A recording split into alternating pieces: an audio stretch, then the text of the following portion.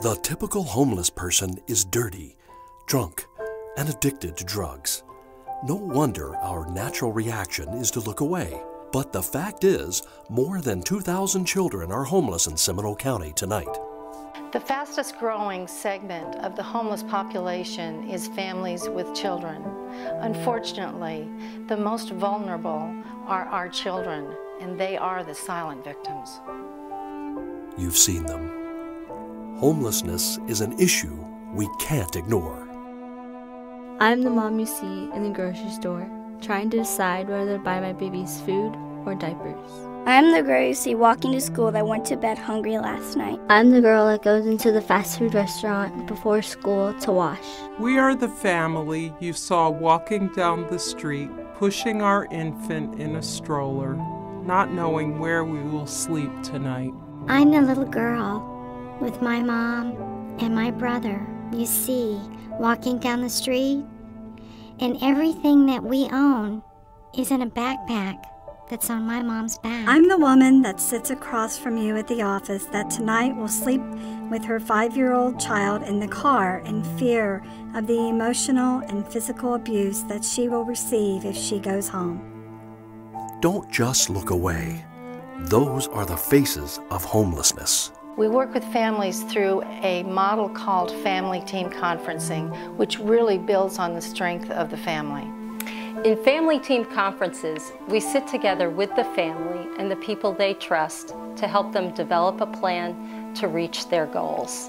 Before I came into Pathways and I, I was pregnant and I had my son and my husband was trying to do what he could to provide, um, it was hard because we didn't know where we were going to be like in the next week or the next month or how we were going to pay the next bill. Uh, family does not want to step in all the time and help. You try and just doesn't pan out the way you think it's going to. You never think that you're going to be in the position that you're in. You always think that there's something out there that's going to you know, just come your way, and it doesn't. Um, it's kind of scary to think of where, you know, we were going to go or where we would have been had Pathways not come and stepped in and kind of definitely changed our lives.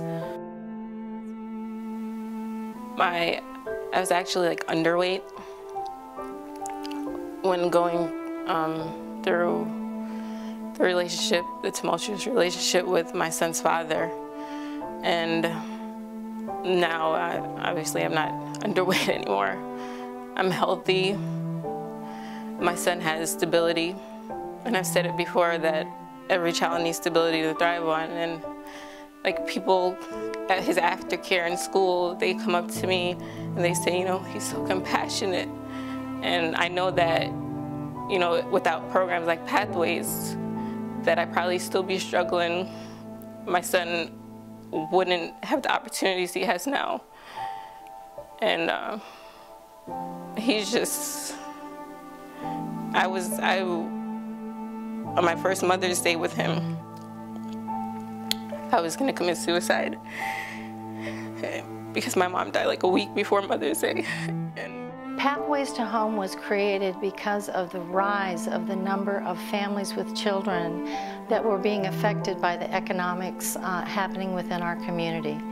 The impact of the economic downturn actually affected our most precious resource, which is our children.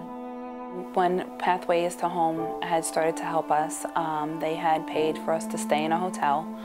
Um, when we finally found a house that was perfect for us, they had paid for our rent, our um, security deposit. Uh, they paid for the deposits to turn on our power, our water, and then they paid the, the rent, power, and water bills until you know we were able to get um, you know a little more financially stable into jobs. Our program works through collaboration, through empowerment of families and children, through community engagement and financial support, and with the belief that we can make a difference. God used Pathways to Home to be a vessel to help me in my life. And, and I hope that they continue to get support so they can help families like my son and myself. Because, like I said, I sit in class and I envision helping out just like they've helped me. And Florida needs that. And The world needs it.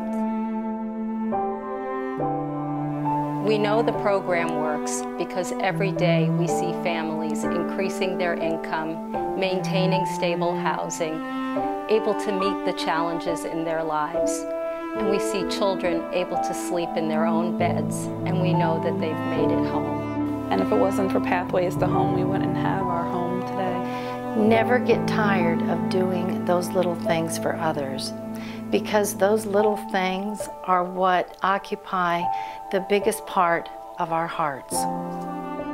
Because of Pathways to Home, I'm a stronger mother, woman, friend, individual. We need you to join us to help families in Pathways to Home. We can do this together, one family at a time.